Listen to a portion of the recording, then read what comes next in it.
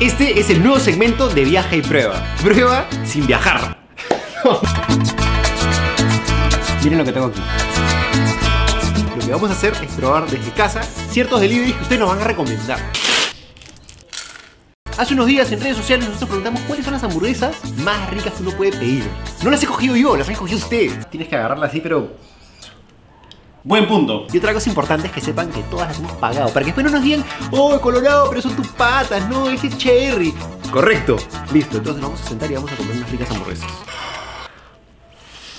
Mm, eso es increíble. Estas tres han sido las seleccionadas por ustedes. Para fines de este segmento, este va a ser conocido como el sillón del sabor. Puedes sacar el celular, acá solamente hay una regla, que tienen que tener el delivery hecho por ellos. Voy a pedir una hamburguesa de cada local. El primero, uno de mis favoritos, Django. Ya está. Segundo, Café Bistro. Tres, aquí nomás, Jefe. Y ahora esperar nomás. Mientras que yo espero mi hamburguesita, voy a ir tomando una chelita, porque además, ¿con qué combina mejor la hamburguesa que con una buena cusqueña rubia? Mis vitaminas, qué rico.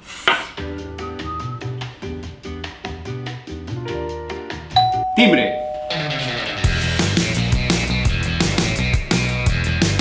Primera hamburguesa, Django.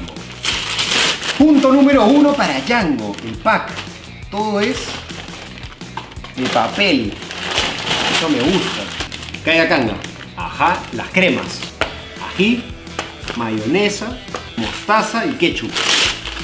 Factor importante al probar papitas de delivery. Si es que han llegado húmedas si están crocantes. ¿Qué tal Django, ah? La hamburguesa que he pedido es la Bronner doble. La Bronner se supone que es la banderada de Django. Y una cosa que me encanta de esta hamburguesa es que la carne no es demasiado grande. Uf, esto huele bien, ¿ah?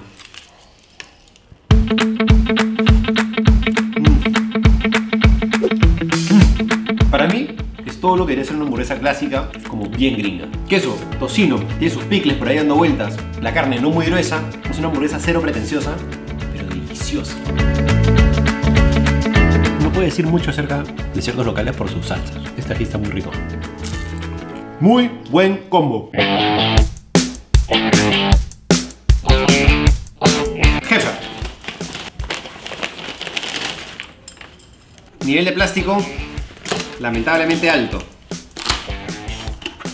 ¿Qué viene por canga? Esto. Así podría venir la hamburguesa. Dos tipos de papas. De cajón les digo que esto acá hay su buen medio kilo. Pero qué monstruo. ¿Qué es esto? Esta aquí se llama la Heffer. Y viene a ser también la banderada de Heffer el restaurante. Es una hamburguesa bien seria. Vamos a darle un buen ricazo.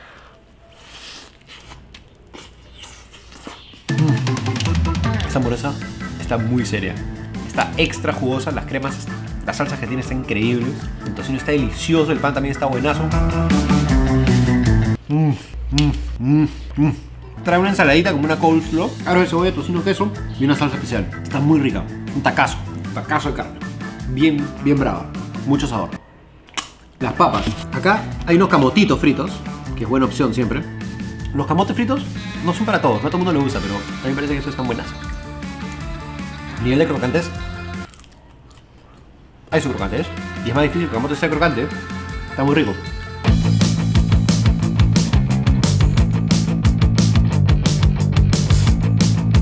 Café a bistró. La hamburguesa de café a bistró ha sido considerada varias veces una de las hamburguesas, si es que no la hamburguesa más rica del libro. Primero que todo, nivel de plástico medio. Es en el uso innecesario de una bolsita. Y sobre todo si es que vienen dos, y eso está lleno a la mitad. Podrían ser un poquito más eficientes con su uso de plástico. Esta hamburguesa definitivamente se nota que es fácil de comer. No chorrea jugos por el momento, no se desarma, eso es algo importante. Bueno, una de las cosas que es increíble de Café Bistro, fuera del mismo sabor de la carne, que es top, es el pan. Ellos mismos hacen su propio pan y realmente es una cosa muy rica. El término está perfecto, la carne rosadita, jugosa, no hay pierde con una hamburguesa de Café Bistro. Mm, Miren lo que tengo aquí las papitas. Y esto acá es una buena sorpresa. Si es que no han ido a Café Bistro, yo les cuento que les sirven este pancito cuando recién se sientan. Es un pancito que está muy rico. Bonito detalle, me gusta. Tú le pones una cortesía a la que sea y la gente está contenta. Ahora, papitas. Mm. Mantienen el crocante. Son papitas hechas por ellos mismos, muy ricas. Me gusta. ¿Sabes qué me ha gustado del delivery del día de hoy? Siento que hemos atracado todo el espectro. Desde la hamburguesa bien gringa, smashed burger, bien chatarra, deliciosa, y hasta la hamburguesa como más grandota, pesada, con un montón de salsa. Uf, hay para todos los gustos ahí. Creo que hay que tener en cuenta que son tres estilos bien distintos. Heffer, una hamburguesón gigante que le encanta a la gente, un montón de salsa, tienes que agarrarla así, pero con las dos manos para que no se chorree, está increíble. Café Bistro en este caso no es una hamburguesa tan grandota como la de Heffer, quizás podríamos decir que es un poquito más fina.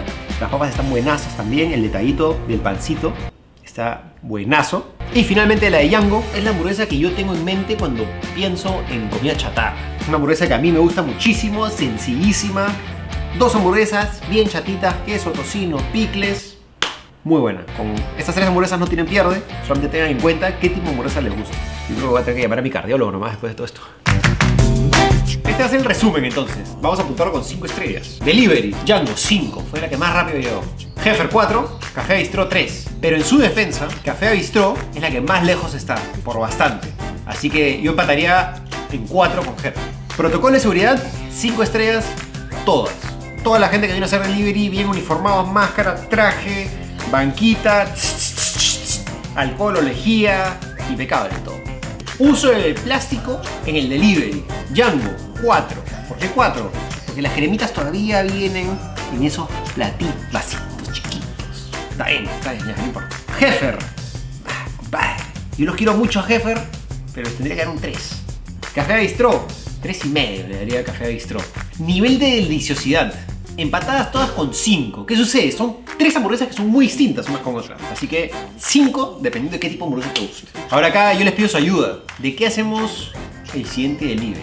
Podría ser ceviche, podría ser comida criolla en general, podría ser por ahí un de desayuno. Ustedes cuéntenos qué es lo que quieren.